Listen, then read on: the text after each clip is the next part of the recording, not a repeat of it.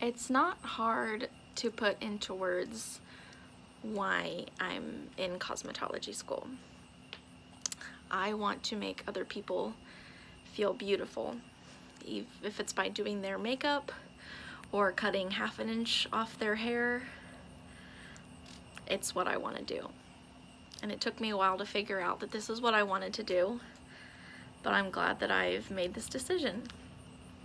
I started off my education after high school at Wichita State University um, pursuing a major in forensic science. I wanted to be a doctor and I've wanted to be a doctor for as long as I can remember. But when I started taking the classes, I realized it was just not something that I was passionate about.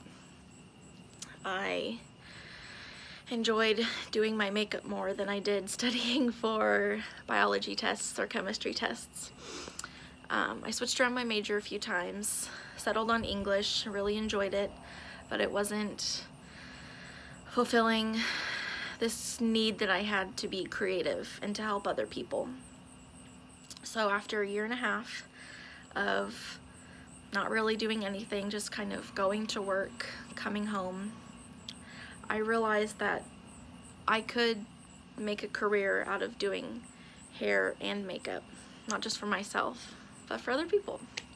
So I enrolled in Eric Fisher Academy in the cosmetology program, and I absolutely love it. It is something I'm so passionate about because seeing the look on people's faces after they get out of the chair, even if it's just as simple as a haircut, it's very fulfilling. And it's something that I want to continue to do until my fingers fall off or I can't do it anymore. If my fingers do fall off, I'll find a way to continue doing it. Um, the scholarship would really mean a lot to me.